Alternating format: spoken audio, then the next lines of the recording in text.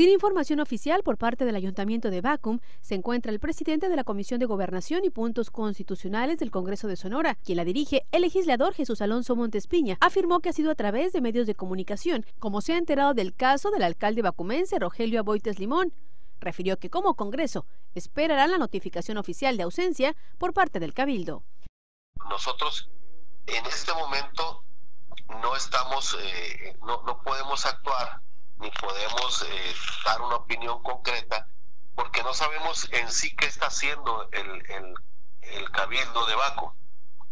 Cuando nosotros tengamos vía oficio o vía acta, mejor dicho, de la sesión, donde se incluya el tema, el punto a tratar de la ausencia y o nombramiento de un interino, dado el caso, entonces ya entraremos nosotros.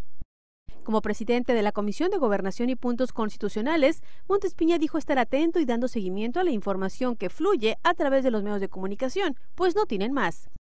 Si es una imputación o si hay tal comisión de delito de parte del presidente, no lo sabemos. Vamos a esperar, como le digo, una vez que se nos haga llegar la información a través de Cabildo. La pelota está en la cancha de ellos todavía porque no se cumplen los 15 días de la ausencia definitiva. En torno a las versiones no oficiales que han circulado con el paradero del alcalde, señaló que éstas deberán demostrarse, puede no hacerlo, se estaría solapando, además de ser cómplice de otro delito. Con edición de Edgardo Félix, informó para Noticias TEP María Celeste Rivera.